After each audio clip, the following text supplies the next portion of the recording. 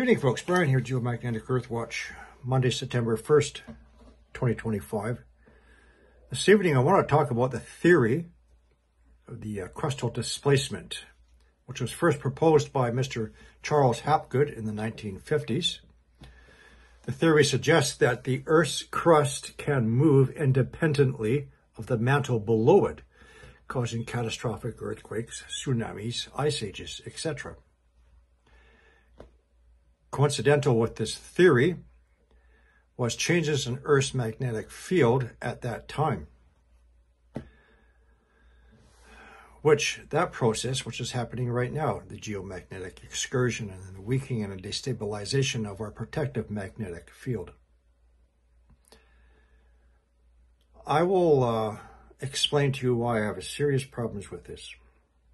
And there's no evidence of a uh, crustal displacement. So many of you have been here long enough. You know what this means. So mantle plumes, which are anchored to the outer core of the planet where the magnetic field is generated from, rise up through the two layers of the mantle to the underside of the lithosphere in which the, in which the crust and the ocean sit upon. Then you have the mantle plume head, which can expand into thousands of kilometers in diameters. And I have a theory that it has branches, arms, nodes pushing up underneath the crust. The theory is that the crustal displacement, the crust disengages from the mantle and slides like that. Problem. These are anchored to the outer core they don't move. They could be stretched a little bit. The Hawaiian Islands, for example, were formed from a hotspot, a mantle plume. But the chain of islands were formed over a very, very, very long process, millions of years of crustal shift. It's a great difference between someone who proclaims that the shift, the crust is going to disengage and it's going to move however many degrees and whatever, 30 minutes, half a day, whatever. So let's take a look at some pictures. So here we have the inner core, the outer core where the magnetic field is generated from, and anchored to the outer core, we have our mantle plumes. The mantle. And the crustal displacement theory is the crust here disengages from the mantle and rotates or shifts. But our mantle plumes stay in place. And here, as I've mentioned, the Hawaiian hotspot. The Hawaiian Islands are formed from the hotspot. The chain of islands formed over a process taking millions of years.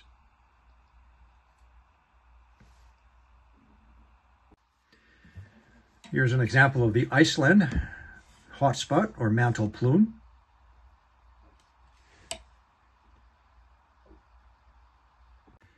I'm going to play this animation of the uh, global crustal displacement illustration. We're not talking about a change in the axis of the Earth. We're talking about disengaging of the crust from the mantle, such as depicted here.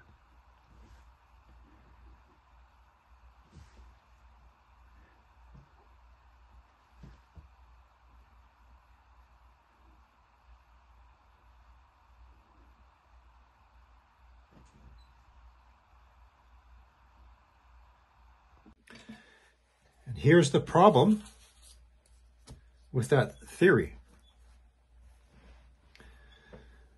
So if the crust unlocks and shifts this way, that mantle plume is now going to be under a new location of either the crust or the ocean. As it is now, let's just say these knuckles are the chains of the uh, Hawaiian Islands. Hawaiian hotspot,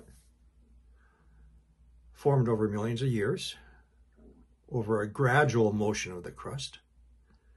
But the crustal displacement theory is this. So the question I have is,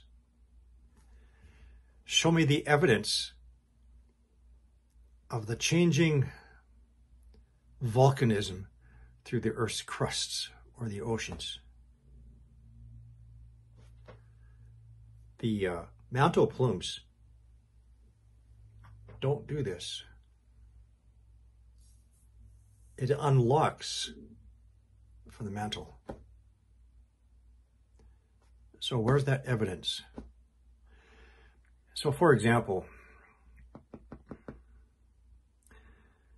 so has as, as has been showed, the uh, Iceland hotspot, Hawaiian hotspot, and many others have been there for millions and millions of years. Where's the evidence that they've disengaged through, let's say, I don't know, micronova? Where's where, where's the evidence? I'm just I'm looking for it. I can't find it. This is why I don't believe in the crustal displacement theory, as opposed to a full axial tilt from the gravitational pull from a perturber, such as been discovered in the early 1900s by the astronomer, astronomers uh, Percival Lowell, who discovered that the two outer planets orbits were being pulled out of their alignment, or they were being pulled down, which can only be explained by an external influence. Sal. Now, as it's been observed and reported for the past quite a few years now, people are seeing the sun not setting or rising where it should be.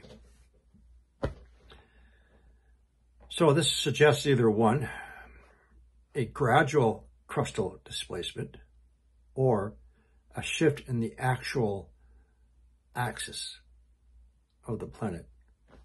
The whole planet is gradually shifting as opposed to the crust. So again, where, where's the geological evidence what was over the Hawaiian hotspot? What was over the Iceland hotspot? What was over Yellowstone hotspot? What was over all the other hotspots before? Now, there's one particular person who likes to go with this uh, theory, the micronova, who stated, well, hotspots don't exist. Really? If hotspots don't exist, how are the Hawaiian Islands formed? and Iceland, and so on. So I'm just I'm presenting to you why I don't necessarily believe in the crustal displacement theory. And I lean to an axial tilt, the whole planet gradually rotating over because of the perturber, the gravitational influence, the pull. anyway, folks, just um, expressing my thoughts, a little bit of a presentation. If anybody can show me, uh, give me links, any evidence uh, to this theory, I'd be happy to take a look at it. That was all, as you were.